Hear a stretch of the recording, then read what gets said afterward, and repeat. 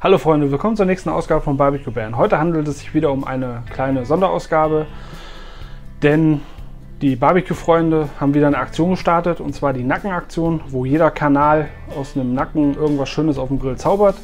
Und dieses hier wird mein Beitrag dazu. Es gibt natürlich auch wieder was zu gewinnen. Mehrere Gewinne sogar und nicht nur wie beim letzten Mal so ein paar Kleinigkeiten. Diesmal schütten wir ein bisschen was mehr aus. Was genau verraten wir erstmal nicht. Da müsst ihr dann, wenn MG Barbecue die Live-Verlosung macht, müsst ihr dann äh, anwesend sein, sofern ihr hier bei dem Gewinnspiel überhaupt mitmacht, damit ihr irgendwas von den ganzen Gewinnen abgreifen könnt. Die ganze Sache wird so laufen wie letztes Mal. Jeder Kanal macht ein schönes Video und macht wieder ein Codewort ins Video mit einem Hashtag davor, wo ihr immer schön unten drunter kommentieren müsst. Allerdings, wie gesagt, bei jedem Kanal, nicht nur bei irgendeinem, sondern alle Videos gucken, alle Kanäle kommentieren und dann seid ihr mit im Lostopf und wenn MG Barbecue dann als letztes dran sind, beziehungsweise am Tag der Verlosung ihren Livestream machen, wo sie dann die äh, Geschenke, sage ich schon, äh, die Gewinne dann raushauen, dann ähm, könnt ihr da schön was gewinnen. So, und jetzt haben wir aber genug gesammelt. Jetzt gucken wir uns die Zutaten an und dann legen wir los.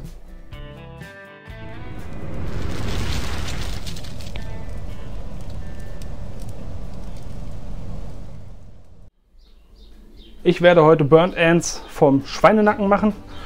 Und was ich da alles zu brauche, das gucken wir uns jetzt mal hier an. Da habe ich hier einen Schweinenacken. Der hat ca. 1,2 Kilo. Den haben wir von der Metzgerei Grob zur Verfügung gestellt bekommen für diese Aktion. Da bedanke ich mich nochmal recht herzlich dafür und auch beim Peter, dass er sich dafür eingesetzt hat, dass wir die bekommen haben. Dann habe ich hier zwei Barbecue-Soßen. Was ihr dafür welche nehmt, wie gesagt, bleibt immer euch überlassen, was euch schmeckt, was ihr möchtet. Ich werde hier eine Mischung rausmachen aus den zwei. Dann habe ich hier einen Barbecue Rub. Da könnt ihr auch einen nehmen, den ihr möchtet. Nach Wahl, ich werde den nehmen. Dann habe ich einmal Honig und einmal Zucker. Das war es alles, was wir dafür brauchen. Und jetzt fangen wir an. Wir fangen jetzt damit an, dass wir unseren Schweinenacken nehmen und in Würfel schneiden und zwar in so 4x4 cm Würfel, weil der hinterher beim Dämpfen bzw. Räuchern auch noch ein bisschen was an Masse verliert.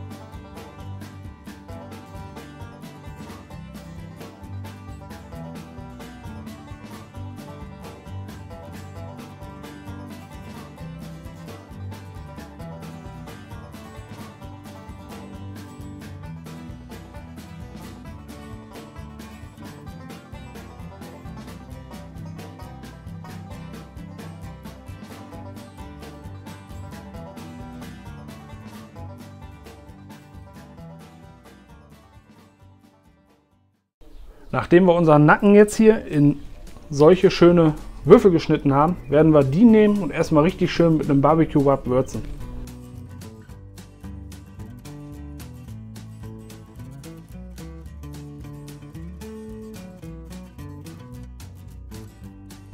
Das Fleisch haben wir jetzt auch fertig, äh, fertig gewürzt. Das nehmen wir jetzt, stellen das nochmal so für ja, zwei Stunden, lasse ich es jetzt im Kühlschrank stehen, damit das Gewürz noch ein bisschen durchziehen kann und dann geht es gleich weiter. Das Gewürz hatte jetzt zwei Stunden Zeit, vernünftig so ein bisschen einzuziehen. Jetzt habe ich hier von meiner großen Schwedenwanne diesen mitgelieferten Rost liegen.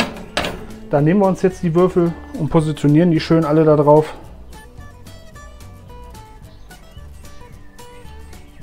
Immer so ein bisschen Luft dazwischen lassen.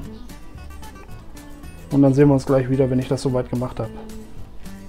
Die Würfel habe ich jetzt alle schön hier auf dem Rost positioniert.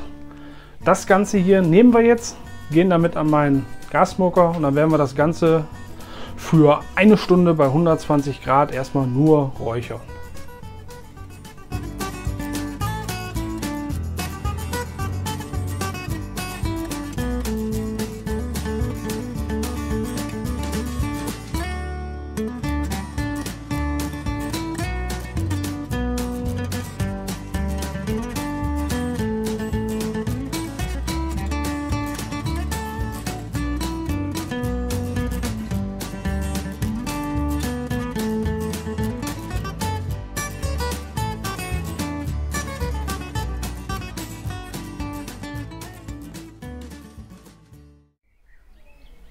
In der Zeit, wo unsere Würfel jetzt schön im Rauch liegen, werden wir schon mal unsere Soße anrühren, wo wir die Würfel nachher noch mal ein paar Stunden drin dämpfen werden.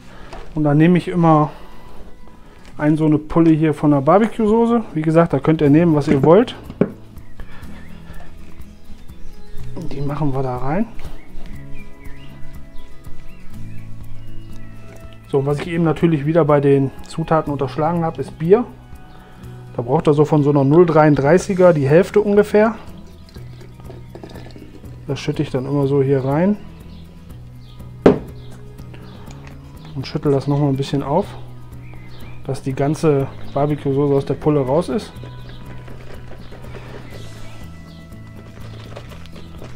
Stell das beiseite, damit sie mir nicht gleich um die Ohren fliegt. Dann nehme ich von der anderen Barbecue-Soße, hau da einen guten Schuss mit bei. Dann Honig. Auch einen guten Schuss. Dann noch was von dem Barbecue Wrap, den wir eben verwendet haben.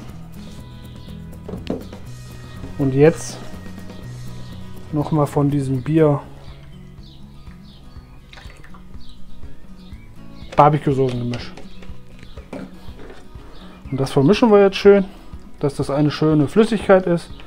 Und dann ist die Soße, wo wir die Würfel gleich reinlegen werden und schön drin rumrühren, dass überall an die Würfelsoße drankommt, auch schon fertig. Unsere Räucherphase ist rum. Jetzt nehmen wir uns unsere Würfel, packen die in die eben vorbereitete Soße, vermischen das Ganze gut miteinander. Dann nehmen wir Alufolie, äh, machen die Aluschale richtig schön dicht zu. Dann nehmen wir das Ganze nochmal für zweieinhalb Stunden in den Smoker bei so 160 Grad.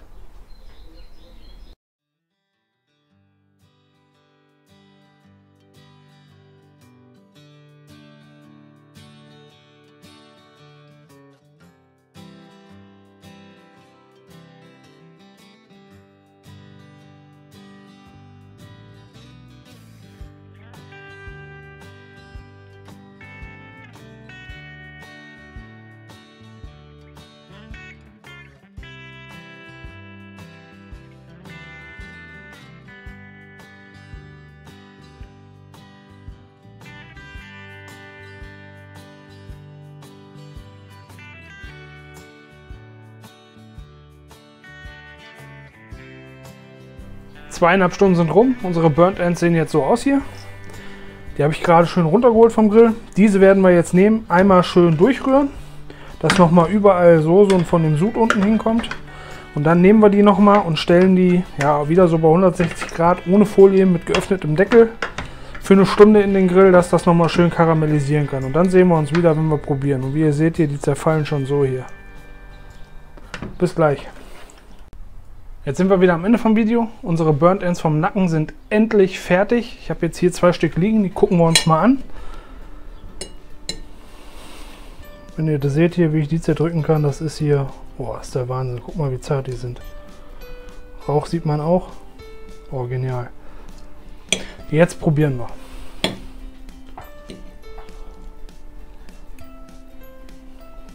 Mmh. Wow. Wow, das ist der Hammer.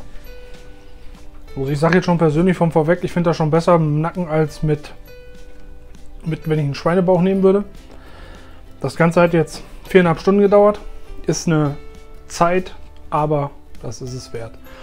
Also wer das noch nicht mit dem Schweinenacken gemacht hat, den kann ich wirklich nur ans Herz legen. Macht das mal so. Versucht das.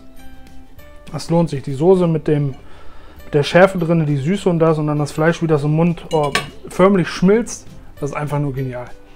So, das war dann wiederum auch mein Beitrag zur Nackenaktion von den Barbecue-Freunden. Ich bin auch einer der letzten, die das Video, sage ich mal, jetzt veröffentlichen. Also haltet euch ran, ihr wisst, was ihr tun müsst. Mein Codewort habt ihr im Video eingeblendet gesehen. Also fleißig kommentieren, Hashtag davor, das Codewort, wie beim letzten Mal. Und natürlich auch noch bei den anderen vorbeischauen, sofern ihr das noch nicht getan habt. Weil wie gerade schon mal gesagt, ich bin einer der letzten Videos. Wir sind kurz vorm Ende der Aktion. Also haltet euch ran, guckt bei den anderen nochmal vorbei, wenn ihr was gewinnen wollt. Es gibt einiges zu gewinnen. Und dann, wenn MG Barbecue den Livestream macht, natürlich auch anwesend sein, damit ihr dabei seid, wenn ihr gewonnen habt. Aber ganz wichtig, wie gesagt, alle Kanäle kommentieren, nicht nur bei einem, sondern alle gucken und bei jedem mit deren Codewort kommentieren. So, dann war es das auch schon wieder von mir. Ich hoffe, dieses Video hat euch gefallen. Wenn ja, das übliche Daumen hoch, freundlicher Kommentar, den sowieso, sonst könnt ihr ja nicht gewinnen. Und natürlich, wenn ihr noch nicht getan habt, ein Abo. So, und dann würde ich sagen, sehen wir uns nächste Woche wieder, wenn es ein normales Video gibt. Bis dahin, macht's gut, ciao.